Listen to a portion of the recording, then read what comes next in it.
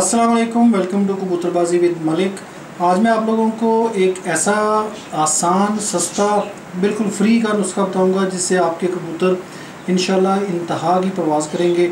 ये कबूतर ऊँची परवाज़ और नीची परवाज़ दोनों कबूतरों के लिए बेहतरीन है, यानी कि जिसे हम पंजाबी में ऊँची और नीवी के कबूतर कहते हैं। तो दोनों कबूतरों के लिए ये नुस्खा लाजवाब है। कस्तूरी, ज़ाफ़रान और इस तरह की चीज़ों से जो नुस्खे बनते हैं, या आप जो इंग्लिश मेडिसन लगाते हैं उनसे हज़ार दर्जे ये नुस्खा बेहतर है और ये नुस्खा आपने देना उस वक्त है जब आपने किसी कबूतर का ज़ोर लगवाना हो, यानी कि आखिरी ज़ोर लगवाना हो, या बाजी जो है आपकी कोई बिल्कुल हतमी फ़ैसले वाली हो, आपको रिज़ल्ट चाहिए उसमें, हर बाजी में ये ना करें, क्योंकि इससे कबूतर बहुत ज़्यादा ज़ोर लगा जाता है तो उससे कबूतर का जिसमानी तौर पर जहनी तौर पर नुकसान होता है।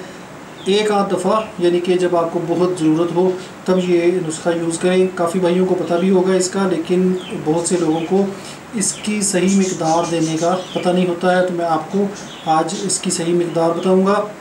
इसके अलावा नुस्खा बताने से पहले आप लोगों को बताना चाहता हूँ कि अगर आप कबूतरबाजी के नुस्खे, उड़ाने के नुस्खे, बीमारियों के नुस्खे पैरट्स रखने का सेटअप पैरट्स की बीमारियों के नुस्खे, मुर्गियों के नुस्खे देखना चाहते हैं तो मेरे चैनल को सब्सक्राइब कर लें।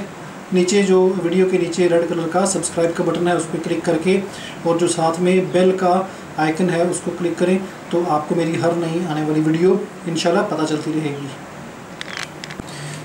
जो चीज़ मैं आपको बताने लगा हूँ, आपको हर जगह मिल जाएगी। एक पहले मैंने नुस्खा आपके साथ शेयर किया था, कस्तूरी वाला, वो कबूतर की प्रवास के लिए था तो भाइयों ने कहा कि भाईजान, वो नुस्खा महँगा है।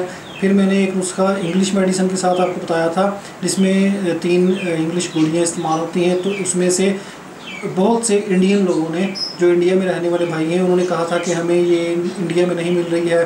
इसका नाम बताएँ कोई और। तो मुझे इंडिया का आइडिया नहीं है कि इंडिया में किस नाम से मिलती है। तो आप लोगों के लिए स्पेशली इंडियन लोगों के लिए ये नुस्खा है कि ये जो चीज़ मैं आपको बताने लगा हूँ, ये दुनिया के हर मुल्क में आपको मिल जाएगी और आजमूदा लाजवाब चीज़ है। आप अगर इसको देंगे तो आपको रिज़ल्ट इन इसका बड़े से बड़े नुस्खों से ज़्यादा मिलेगा। चाहिए आपको क्या कि काली मिर्च है ये, बिल्कुल जो किचन में आपको मिल जाती है।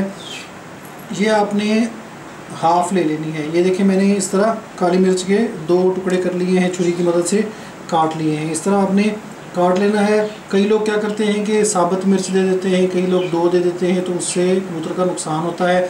आपने इस तरह छुरी की मदद से काट लेना है काली मिर्च को और आधा आपने एक कबूतर को देनी है। ये काली मिर्च हाफ़ आपने ये इस्तेमाल करनी है। जो पूरी है, काली मिर्च वो आपने इस्तेमाल नहीं करनी। इसको देने का तरीका क्या है कि फॉर एग्ज़ाम्पल अगर आपने सात बजे या छः बजे कबूतर छोड़ना है तो आपने सुबह शहरी टाइम तीन बजे या साढ़े तीन बजे कबूतर को ये मिर्च देनी है। इसको देने का तरीका क्या है कि इस तरह आपने इसको नहीं देना है एज़ इट इज़ आपने क्या करना है कि इस तरह हथेली पे ये काली मिर्च का दाना रख लेना है और देसी घी लेके थोड़ा सा उंगली पे लगा के इस तरह ये देखें और इसको आपने अच्छी तरह तर कर लेना है, इस तरह, ये देखें। इस तरह ये है कि कबूतर आपका ये काली मिर्च जो है बाहर नहीं निकालेगा। ये आपने इस तरह तर करके अच्छी तरह देसी घी में कबूतर के गले में डाल देना है और पाँच, दस मिनट कबूतर पे नज़र रखें ताकि कबूतर इसको पोटे में ले जाए, बाहर ना निकाल दे। तो इन इसका आप रिज़ल्ट देखेंगे तो आपको यकीन नहीं आएगा कि आपने ये काली मिर्च के दाने से ये रिज़ल्ट लिया है। कबूतर इंतहा की परवाज़ करता है और अपना आखिरी ज़ोर लगाता है, लेकिन ये आपने हर बाजी में इस्तेमाल नहीं करनी है। बहुत लाजवाब और समझने के सीने का राज नुस्खा है, जो मैंने आप लोगों के साथ शेयर किया है। ट्राई कीजिएगा, पहले फिरतों में अपने कबूतर पे एक दफ़ा आजमाएँ तो आपको इसका पता चल जाएगा। चैनल को सब्सक्राइब करना ना भूलें। अगली वीडियो तक के लिए मुझे इजाज़त दें। अल्लाह हाफिज़।